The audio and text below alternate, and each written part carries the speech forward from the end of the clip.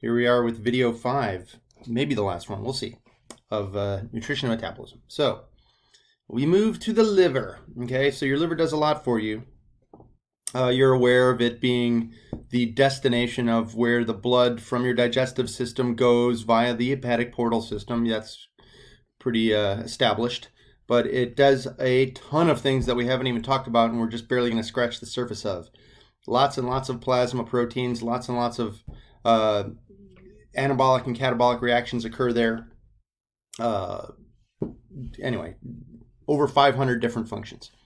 So lots of these genesis and lysis type reactions, as you see. Uh, importantly for this chapter, anyway, it uh, it makes a lot of cholesterol.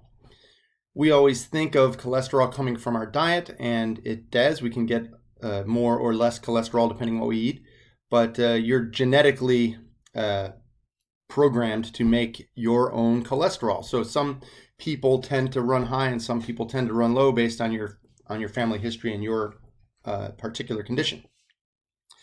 So let's look at cholesterol. Uh, the total cholesterol levels in your blood, that's counting HDLs and LDLs, high density lipoproteins and low density lipoproteins. We'll get to that in a minute. But the total cholesterol should be about 200 milligrams per 100 milliliters of blood. In the book, it says one uh, deciliter, but nobody uses that. So we'll say 100 milliliters. Um, and if you can keep it below that, you're good. Okay, so it says of this is good. So, but I mean below. Uh, HDLs are actually the good ones. So high density lipoproteins are ones that will kind of uh, protect you against cardiovascular vascular disease, especially if you get them at very high levels. So you want 40 uh, milligrams per 100 mils to 60 or even more, right? So if your numbers, if you're getting your cholesterol checked then you're at 70 milligrams of HDLs per 100 mils, you're doing pretty good. LDLs, you want to keep low. So keep high, high, keep low, low. The low density lipoproteins, uh, also known as bad cholesterol, you want to get uh, below 160 milligrams per 100 mils. Uh, even lower is better, right? The numbers have changed over the years. Uh, I remember having a target point for 100 milligrams per 100 mils. So the lower you can keep those, the better off you are. Um, here's a little finishing list of things that happen in the liver. Switching slides. All right, let's talk about energy in, energy out. So you take in energy from your food. Uh, that contains these, you know, they're not they're not things. Calories aren't things. Calories are units of energy. So certain foods have more uh, energy in them than others. Uh, fats have a very high uh, ratio of calories to grams, and uh, proteins and carbohydrates slightly less. Anyway, so you take in a certain amount of calories over the day. 60% of this is basically lost as heat pretty much right away because you have to conduct all these reactions. If you remember the uh, the second law of thermodynamics states that that the universe is heading towards entropy. So you're actually creating heat out of all of these stored forms of energy, and we're no different.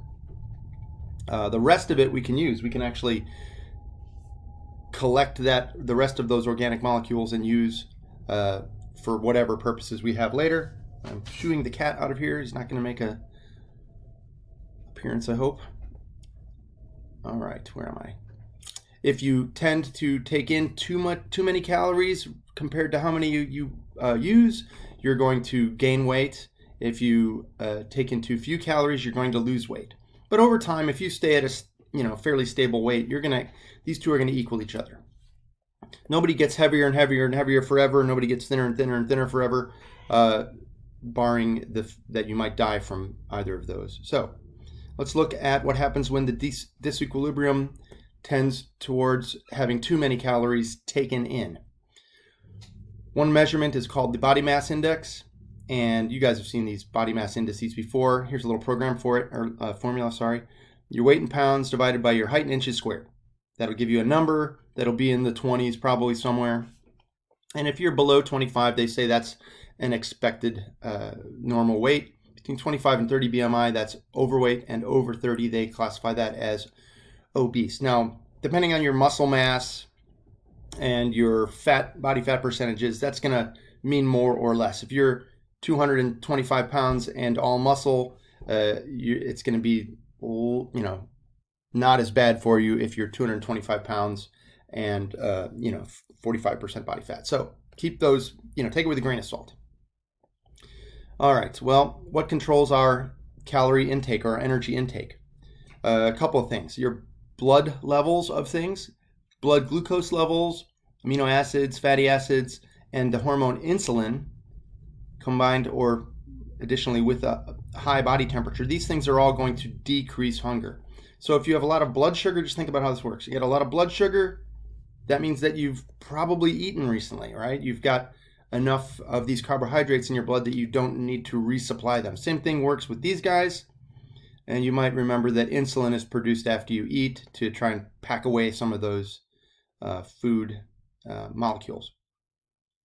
Uh, hunger is increased by kind of the opposite. So I say high this and high body temperature decrease hunger and vice versa. So low blood levels of these and low body temperature are going to increase hunger. Uh, glucagon and epinephrine are two hormones that will also help you increase hunger. And where else am I? And then your psychological state. So some people eat when they're depressed, or some people don't eat when they're angry, or whatever. So those can affect it uh, significantly as well. Last slide. Uh, metabolic rate and heat production. So you've heard of your metabolic rate and metabolism. I started off with this section here talking about it. Well, your BMR is really that measure that people use when they're talking about how easy it is or how difficult it is for them to gain or lose weight. So your basal metabolic rate, this is how many calories you consume per meter squared of body surface area, which is kind of an odd thing, but that's how big you are per hour. Now, kcals, these are these are your normal dietary calories. So you can just equate these to the calorie you see on your uh, cereal box or soda can or whatever. So you have to be at rest. You have to be in a post-absorptive state. So no, you, you haven't just eaten. you have to be in a comfortable temperature. And so you'll you can measure this. There's different ways to measure it. But if you are thinner, younger, male, stressed, high body temperature, high environment, uh, room temperature, and body temperature, and uh, high growth hormone, sorry, uh, thyroid hormone levels, you are going to have a higher basal metabolic rate. So when I was young, I had a super high BMR. Uh, couldn't gain weight at all, like paper thin skin. Of course, I'm no longer younger, and I try not to be stressed, and uh, I'm probably not that much thinner anymore. But so it's a lot, you know, easier for me to gain weight. My BMR's probably gone down. You can compensate for that somewhat with your total metabolic rate. This is all of your activities. So this is exercise. This is something you really want to do. If you exercise regularly, your overall calorie consumption is going to go way up. You're also going to be, generally speaking, consuming more calories at rest because you're going to have more muscle. So if you've got more muscle, you consume more calories even when you're sleeping. So exercise will not only uh, increase your total metabolic rate during that period, but it will uh, overall increase your calorie consumption. So exercise is, you know, it's not easy if you're doing it right, okay? but you know, you got to do it. So I strongly encourage you to include exercise rather than just dieting if you want to lose weight. Lastly, body temperature regulation. We run about at about 37 degrees centigrade, which is like 98.6 Fahrenheit. Uh, the temperature tends to be highest sometime in the afternoon and lowest right when you wake up, with your core being a higher temperature than your body shell, your outer, your outer layers. How do we get heat in and out? Well, radiation, now this isn't radiation like, you know, radioactive. I'm just talking about radiant heat or conductive heat, convective heat. This is like, this is the electromagnetic radiation of heat.